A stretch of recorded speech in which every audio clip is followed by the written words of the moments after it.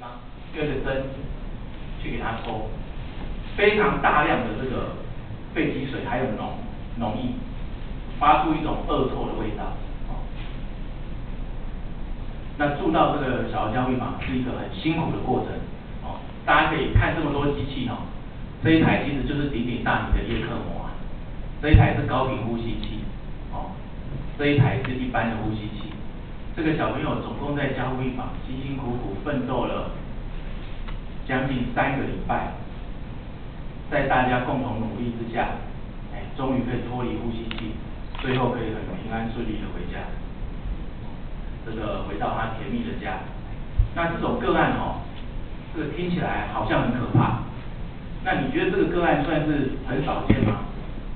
其实从疾病管制局的资料，我要告诉你，这种个案不止不是罕见哦。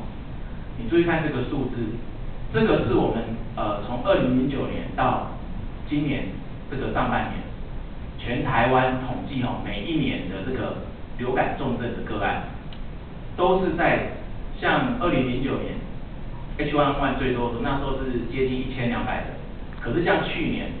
快到一千六百人，这里头有三分之一的人都必须住到加护病房，严重到需要住加护病房，其中有将近七十人，光是过去的这个一年，有七十人因为流感重症过世。所以其实流感虽然常常听到、常常见到，但是它的威力哦，恐怕不是你想象的那么简单。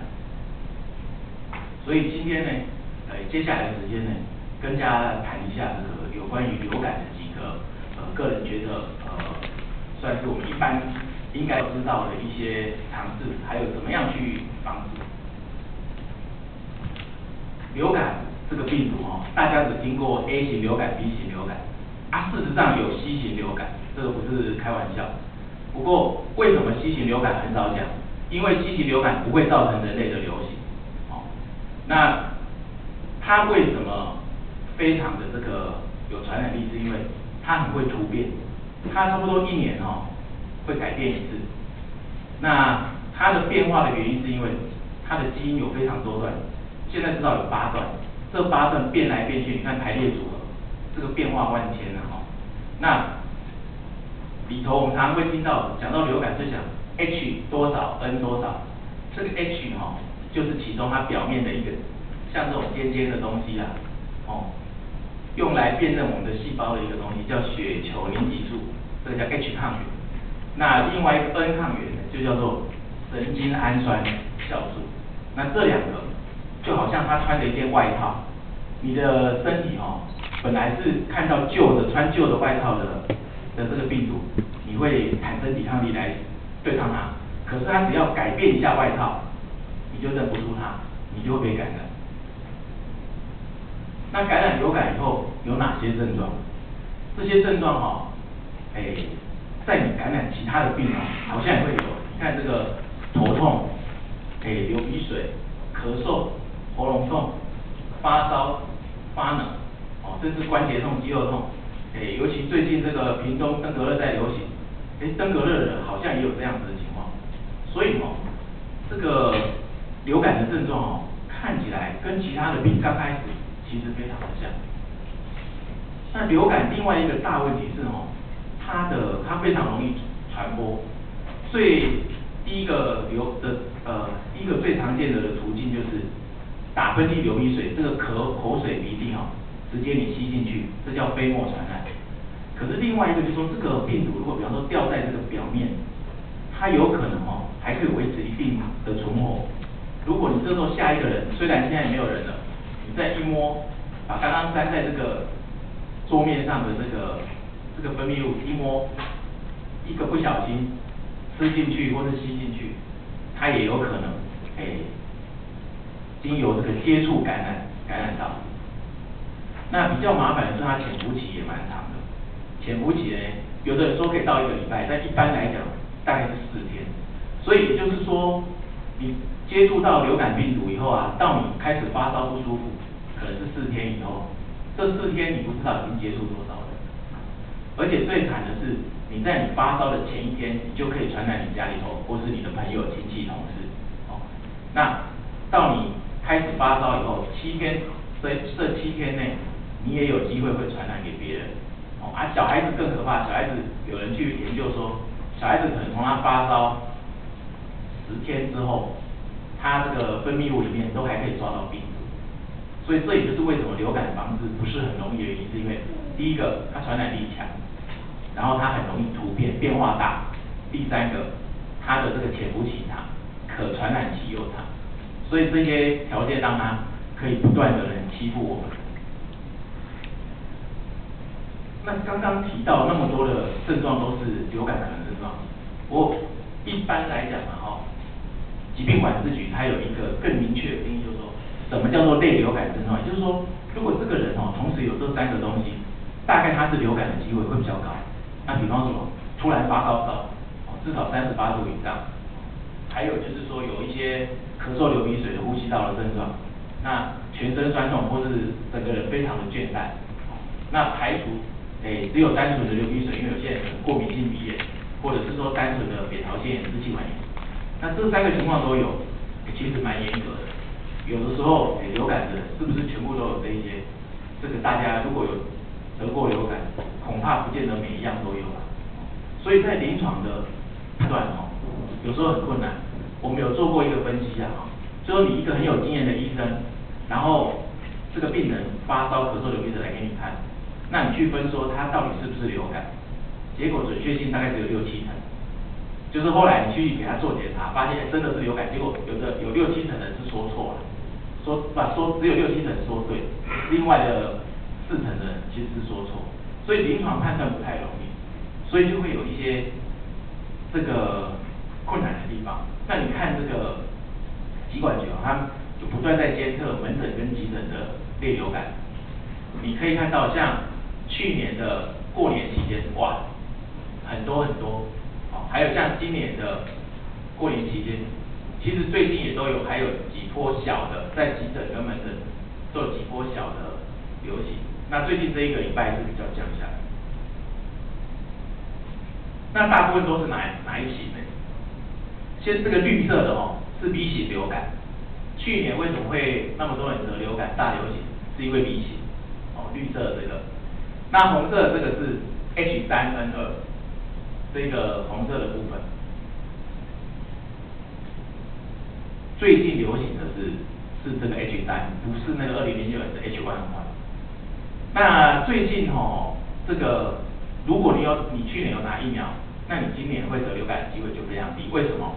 因为去年预测的流感疫苗跟今年流行的完全吻合，所以有打的话，几乎有打疫苗的，我们现在观察起来，会感染到流感的机会很小。问起来，今年得到 A 型流感的。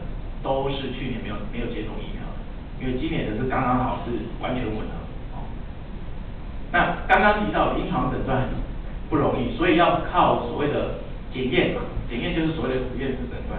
那这边写了一大堆哦，给大家不用太这个太担心。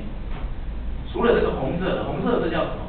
叫流感病毒抗原测试，这个其实就是俗称的快筛。除了快筛可以在最快的时间大概。呃，一般就算在大医院，大概一两个小时内也一定都知道，最快大概二十分钟内可以。其他的检查都需要一两天甚至一个礼拜。对我们在做流感的防治，这个有点缓不济急。所以我来讲一下有关于快筛这件事。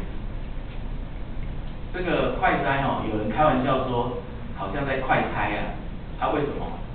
因为它的准确性才会有细狭我狭，有的人说好像丢铜板一样。这个，诶，正面说是，反面说不是，那它这个快速的筛检法啊，如果你的这个喉咙里面的病毒量够多，它是还蛮准的。可是如果在比较才刚开始发烧就做，其实不一定，没不一定说你验没有就不是。那哪些人必须说，如果有刚刚我们讲类流感症，就是说咳嗽、发烧、流鼻水、全身倦怠，哪些人应该要？接受快筛的检查，一般建议是这样。第一个就是说，婴儿、老人家，还有你有在吃免疫制剂，包括说做化疗的、化学治疗的这个病患。那另外一个就是说，你的状况严重到需要住院，或者是你是所谓的流感重症的高危险群。那什么叫流感重症，或者叫流感并发症高危险群呢？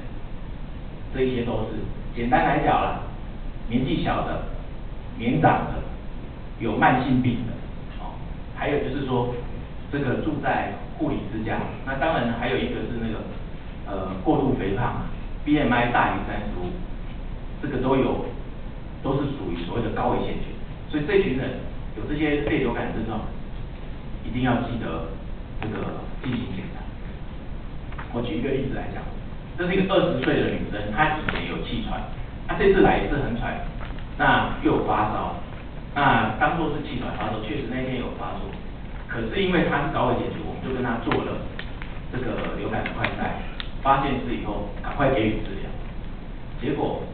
没想到这病毒还是扩散很快，你看之前来说两边都还算平均嘛，十六小时以后，已经整个肺部白掉插管，但是因为你早早就知道说他是流感的病人，整个治疗的方针就可以更准确，所以说这个快筛的检查还是有它临床上蛮特别的意义，所以优点很快，缺点。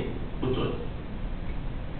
那有人就说，我如果快筛啊做两次都阴性，是不是就一定不是流感？